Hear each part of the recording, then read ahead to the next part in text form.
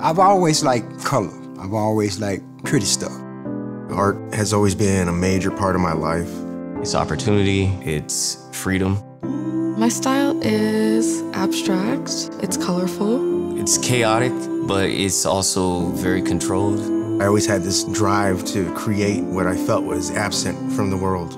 I had a lot of challenges that I had to overcome, a lot of hurdles. I was in a pretty toxic relationship. I was basically on the verge of homelessness. Lost everything I had. I was not myself anymore, I was somebody else.